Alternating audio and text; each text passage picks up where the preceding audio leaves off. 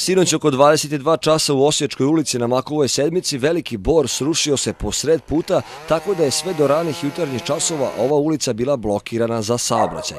Drvo koje se obrušilo zakačilo je i električne žice na banderi tako da je došlo do prekida električne energije na kratko vreme.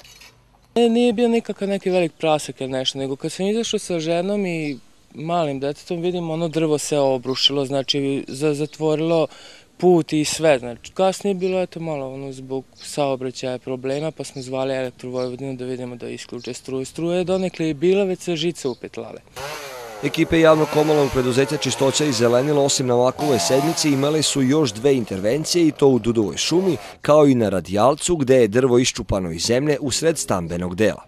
Moram napomenuti da smo noćas, e, noćna ekipa koja je radila, e, da smo izvukli preko 16 kubika E, smeća koje je vetar obovarao, koje je zelene mase, koje je suvi grana.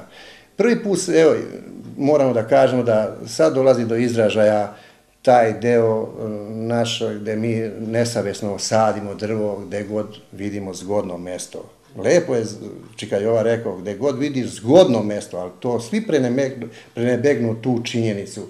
Nije baš svako mesto zgodno. Sinoć u ovom naselju došli do prekida električne energije. Kao što možete da vidite iza mene, bandera se skoro srušila, ali je ekipa elektrovojvodine došla u sred noći kako bi je bar donekle usposobila i održala, da kažemo, na nogama. Za Infoblok, Srđan Olman.